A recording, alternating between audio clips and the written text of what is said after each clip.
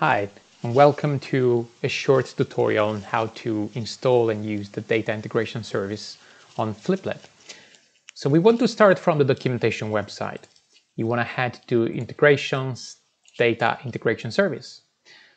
Now, if we look at the minimum requirements, you'll see that you'll need um, relatively low-powered machine. Uh, I'm currently using a Windows laptop, but you can use any Unix or macOS or even other distributions. We first want to try installing Node.js, which is an open source software language um, which we use for this software. So you just want to go to the website of Node.js and you click the download button. Then wait until the installer downloads. And then you just go through the process. It should only take a few seconds. You just um, want to install Node.js and then make sure that it's added to the path. So then your terminal will have it available. So let's just install it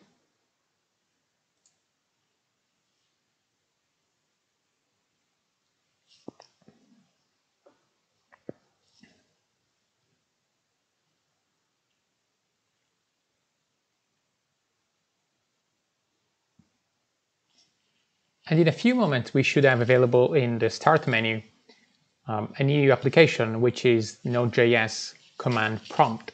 Now, you can use any terminal, but if you use the Node.js one, you shouldn't have any problem going forward. forward. So you can just um, use that one for this demo.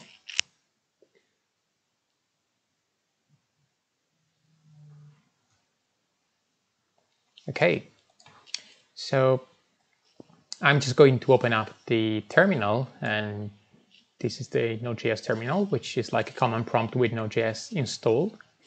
Now, if we head back to the developer website, you will see that it's asking you to install a package, the Fliplet agent, which is our software. And you just have to install to, sorry, to copy this command. You just want to paste the command here and hit return. And this should install the Fliplet agent within just a few seconds. And meanwhile, I'm just going to put these on a side. Um, you can see that if you if you're having any problem because maybe your company is behind a firewall, then you may have to disable strict SSL validation, and this is quite common if you are behind a proxy. Now, if that's not the case, within a few seconds, you should uh, you just you should see the um, message that says Fliplet agent is installed, and we can try checking the version of the Fliplet agent.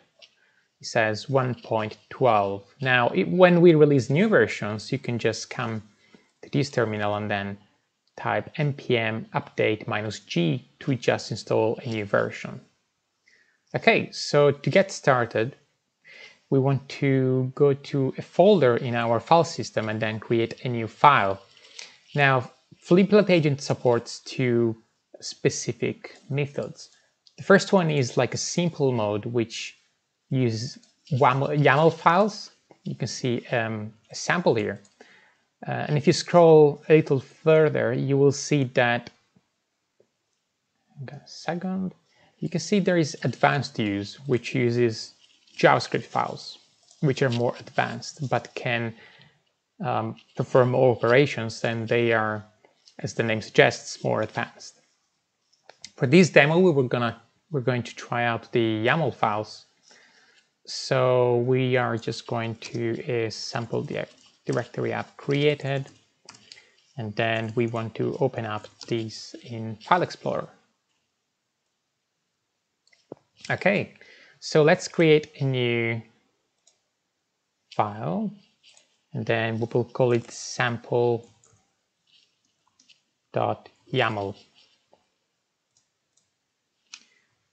Okay, so um, you are more than welcome to just use a notepad, but as we, as I have a text editor installed, like Visual Studio Code, then it's going to highlight my syntax, as you can see in these examples. So I'm just going to use that because it's going to make things a little simpler. Okay, so let me just um, open up this one in a new folder. Mm -hmm. And then I'll bring this here. Okay. Right. And then I'll, sorry, I'm just gonna move the notepad here on the side. Okay, so let's head back to the website and we want to copy the initial sample that we're gonna use for setting up the, um, the initial um, example that will be about pushing data from a database, like a SQL Server database, to Fliplet um, APIs. So let's see how it goes. First want to copy the whole file and then as you can see we're gonna need an auth token. Now this is something you're gonna get from Fliplet Studio and as we need to, to get that we're also gonna create a data source which is gonna be the target of our synchronization. So let's head back to here and then we go to Fliplet Studio. Okay, so I'm going to my app and then if you click on the app name or the cog icon here, then you're gonna see on this model you can go to app tokens and then I can create a new app token which is gonna be just for DIS. So in case you know your machine gets compromised, you can just revoke the token at any time. I'm just gonna give it a name and then I wanna copy the token and then paste it back here. Okay, great. I also want to copy the ID because I want to add permissions of this token to a data source I will be creating. So if I go back to my app data, and then I create a new data source and let's call it users. Okay. And then I go to studio user permissions. I want to add a new user and then paste that ID and then just hit return here. And this will add permissions to DIS to be able to perform operations on this data source. Now, I also need to add some security rules for this data source. For the sake of this demo, I'm just going to add full uh, permissions. Now, in real use, you would possibly specify, you know, like specific users or to specific apps. And then I'm going to save and apply. Okay, great. Now the last thing we need from here is the ID of this data source. So let's copy the ID from here and then we head back to Visual Studio to my sample file and then we paste back the ID here. Okay, now the next part will be about configuring the database where the data is read from. On my machine, I have installed a MySQL server, which I have running. You can see here, this is the management console. You may be familiar with it. So I have a database which has the identifier SQL Express and it's running on my machine, which is a surface. there is a user table and as you can see, I'm doing like a sample query just to find out that there's two records. They have three columns, email, full users and updated at. Okay, that's fantastic. So I know what data um, I should be using for connecting to this database. So let's head back here and then I'm gonna say the database driver is MS SQL, that's correct. The, um, the host will be Surface, which is the name of my machine. Um, these would have been your uh, domain name maybe, or like a, a URL. It's gonna be maybe a host name, uh, depending on the case. Now, I'm also going to specify my username, which is, uh, let's say, super admin for now. It's going to be my local database, so that's fine. And I want to specify a password, which is the same password as before, but just in uh, as a string, because I want to pass the password as a string not a number. And then my database port, which on my machine is going to be this number. And then the database name, which, um, if I'm not mistaken, it's called Fliplet. Let's just find out. And it's called Fliplet. There you go. So I'm just going back here and then type Fliplet. Okay, great. Now, as I'm using um, Microsoft, Microsoft SQL, then I also want to specify the instance name. So I'm gonna uncomment out this line and then type SQL Express, which is the name of my uh, SQL instance. And I also have encrypted the instance. So I'm just gonna uncomment out this one, which is gonna ensure that the data is encrypted within transit. Okay, so the next part will be about making sure that the description is accurate. This is actually fine for the demo. Synching it when left to true will make sure that the data is synced when the script starts, and then you can set up the frequency here as well. Now the query, as you can see, is like a sample query that we've put together. Um, the query we want to we want to use on this database will be, let me replace it with my query, which is going to be select the email, the full name, updated that from users. It's the data you have seen previously on my screen. And then the primary column that I have on my uh, table is actually the email. Now, in most scenarios, this will be maybe like user ID, uh, like an auto increment or some sort of, but in my case, it's like email.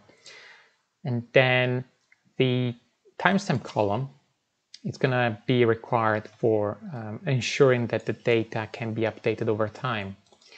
Uh, so then whenever you change the data in your database, the data is synchronized back to Fliplet. If you recall, I have a column, a date time column in, my, in Microsoft SQL called updated at. Okay, and that is basically it. So we should be good to go. Now, if we head back to our terminal, I'm just going to make it a little wider. And then we want to type fliplet dash agent start and then the path to the file which is called I believe sample in this folder and then you just hit return and as you can see here this is currently initializing the collection the connection with the source database and that's it. That is finished. So what you can see here is that it is authenticated with Fliplet, configure the operation to push data to the data source you have specified, and then it tried to push the to sorry to fetch the data. So the data source had zero entries. The data source was empty from Fliplet um, APIs. Then it was fetching data from your SQL server on your computer and then it fetched two rows from the database and these two rows have been marked for inserting and then this now is listening for uh, well it's gonna run in 15 minutes to see if there's any update. Now I'm gonna hit control C twice okay just to try to run to quit and then run it again to see what happens. Okay, so what you can see is that it's fetching two rows from the data source on Fliplet. There's two rows in the database, the local database, and both rows do not require updating. Um, so no data has been written to Fliplet servers. Now what that means is that if we go back to Fliplet and we go back to our user's data source, we have the data that is being created by this, which is fantastic.